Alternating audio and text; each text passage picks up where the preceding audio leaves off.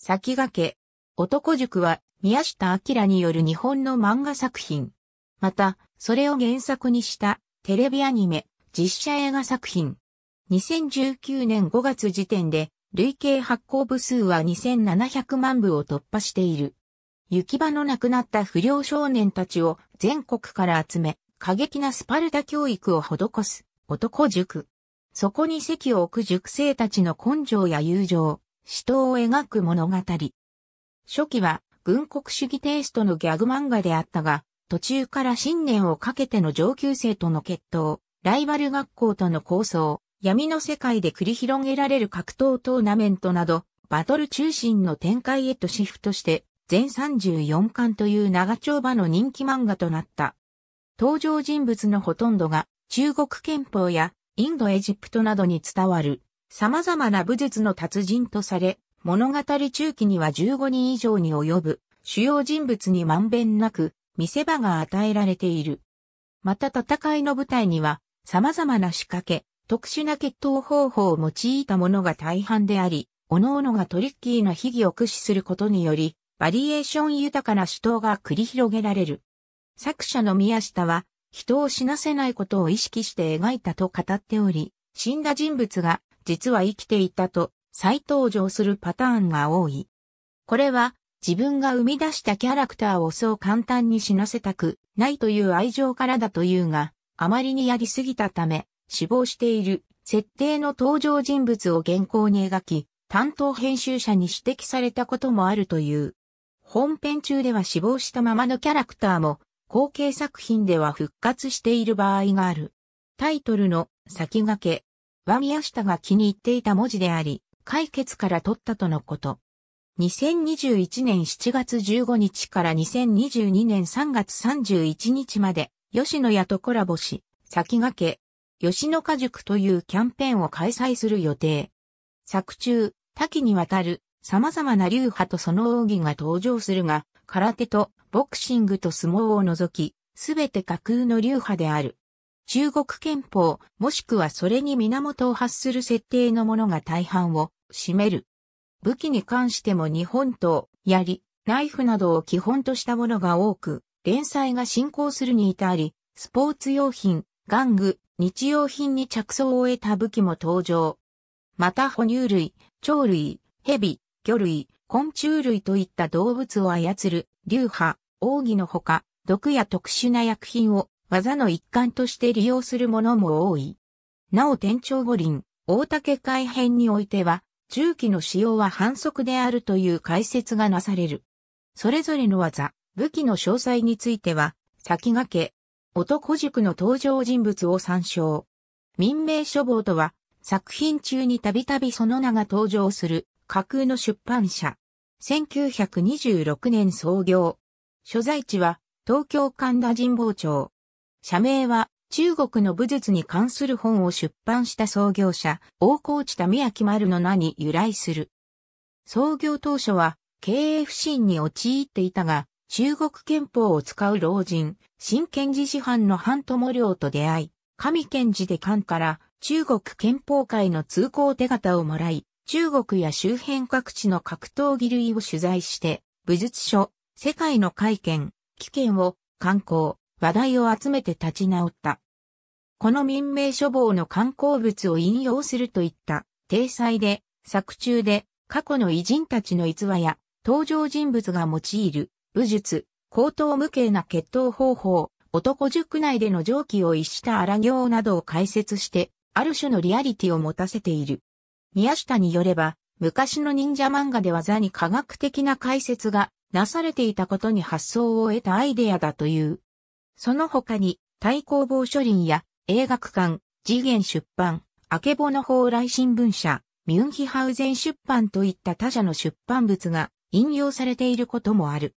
民名書房の解説はすべてフィクションであるが、作者が嘘か本当か微妙な境目が味噌と語るように、最もらしいエピソードや用語などが多く、読者層の少年たちを中心に本の内容を信じたり、実際に民名書房の書籍を探し回る人が続出した。作者によると、ゴルフの起源は中国であるという説が支配的とした民名書房の解説に、ゴルフの起源はイギリスですと抗議の電話をかけてくる大人の読者もいたという。また宮下はこれらを元にした技の名前に当て字をする際、漢和辞典を調べて難しい字を使用したことから、別の漢字の部首を組み合わせて表現する作字という作業が多く必要になり、社食屋を非常に苦労させたという。続編の暁、男塾青年よ、大正井岳や天下無双、江田島平八伝では、民名書房創業者の大河内民明丸が登場するなど、あくまで作中の出版社であることが演出されている。また、民名書房主催の漫画賞、民名漫画賞と称して、自らの作品を受賞させる。なお、同作者の別作品、私立国道高校2011の作中には、新民名書房館なる新たな出版形態も登場する。民名書房風の演出は他の漫画家も用いており、同じ週刊少年ジャンプで連載していた荒木博彦は、ジョジョの奇妙な冒険パート4ダイヤモンドは砕けないの作中に民名書房が刊行した旅行ガイド、旅行するなら日本のココベスト100を登場させている。作中において、民名書房観光の書籍から引用された文献は、民名書房大全として実際の本にまとまっている。このムックは劇中に登場する設定をまとめたものだけでなく、同書房の生い立ち、関連人物紹介、釈迦など、あたかも同書房が実在するかのように構成されている。各出版社ごとに登場順で表記。民名書房館その他大川地民明丸の親友、秀幸本学を社主とする大阪の小規模な出版社だが、1990年経営不振で倒産。民名書房で民名丸を補佐した春日井健介が中津川大館の出資で次元出版を創業するも、中津川のわがままに耐えかねて失踪。1996年倒産。社主は大河内田宮丸の親友も手際湯の進む。当初は自然科学関係の書物を刊行したが、民明丸の影響で中国憲法関係に移行。しかし、それが災いして、民名書房の盗作との悪評が立ち、1995年に倒産。ドイツの出版社で児童書の編集を務めたカール・ハインツ・ミュニヒハウゼンが民名書房に移転した後に独立して創立したが、下記の一冊しか刊行されなかった。ミュンヒハウゼンは後に帰国して農場主となる。日本あけぼの蓬莱武術協会の機関誌を出す出版社で理事長は大河内田宮城丸の親友森田新之助。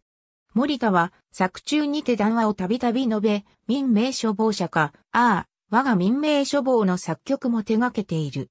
単行本はジャンプコミックス版が34巻、愛蔵版、集英社文庫が全20巻刊行。最終巻には特別読み切り、やばい奴らが収録されている。1988年2月25日から同年11月14日まで、フジテレビにて、北斗の剣2の後、番組として放送された。キャッチフレーズは、主人公、桃の声で、見ねえ奴は、男じゃねえぜ。全34話。アニメ化にあたっては、とりわけ原作の特色の一つだった、軍国主義的な描写が変更になり、また危険な描写も緩和されている。アニメ独自の解釈が織り込まれているものの、放送当初から PTA や教育委員会の抗議が絶えず、中盤以降は放送打ち切りを訴えるほどに激化したという。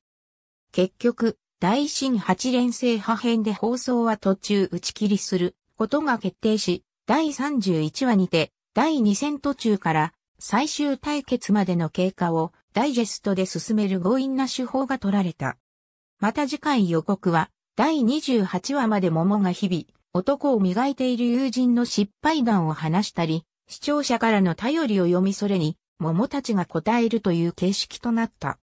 後に、雨上がり決死隊のトーク番組アメトーク。先駆け、男塾芸人で紹介され、同様の次回予告を、ケン桃太郎が担当した。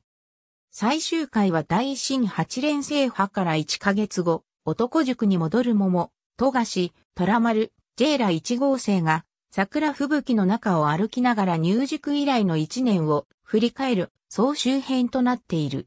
上記2曲を収録した CD はアルファムーンより発売された。同グループはこの曲を発表した後、1989年に解散している。また、スタッフクレジットはオープニングエンディングともにアニメでは珍しい縦書きである。放送日時は個別に出展が掲示してあるものを除き、1988年11月終了時点、放送系列は放送当時のもの。2019年現在、この枠でアニメが放送されたことはない。テレビ新広島は学校の長期休暇時に劇場映画版の単発放送を行ったのみだった。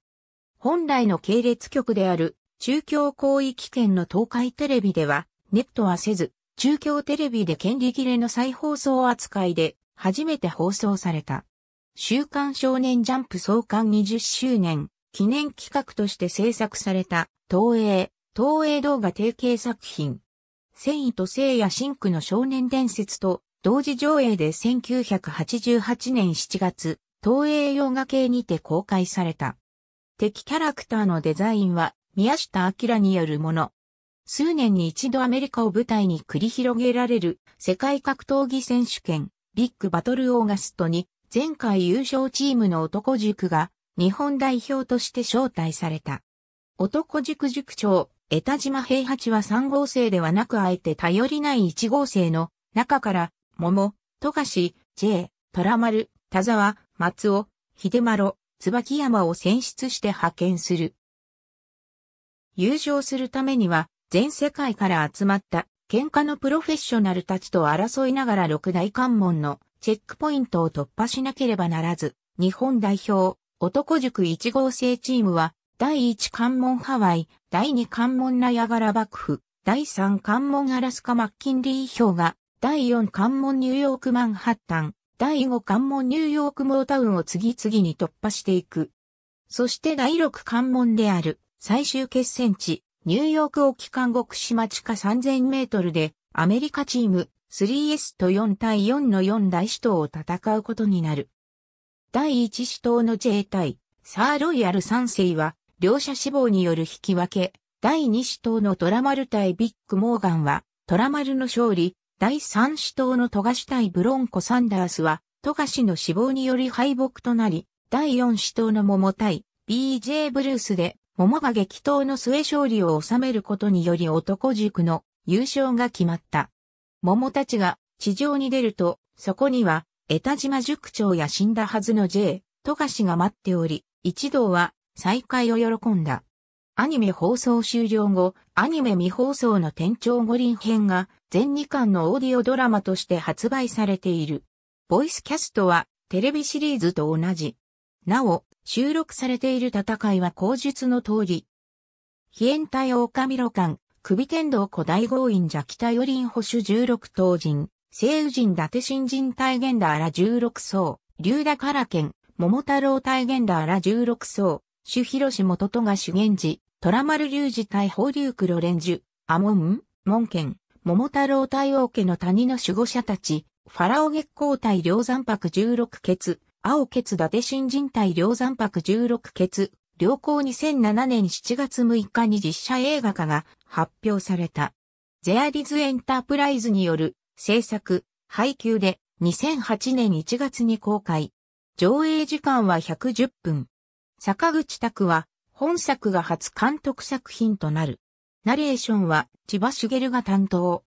極小寺秀丸の視点を中心に物語が展開しており、前半は原作の初期エピソードをアレンジ、再構成し、一号生たちの日常が描かれる。原作にはない熟成の恋愛シーンなども存在。